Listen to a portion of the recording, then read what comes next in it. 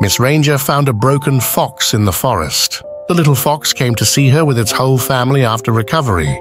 She immediately brought it back to the base for treatment.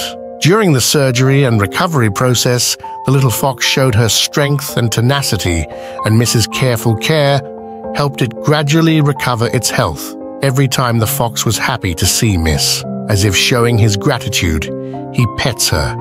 Miss would prepare delicious food for her, giving it warmth and love. When she's cured, she'll return the fox to nature. The little fox is reluctant to let go and always comes back to visit her. Gradually, not only the little fox, it also brought other members of the family to show their trust and gratitude to Missy.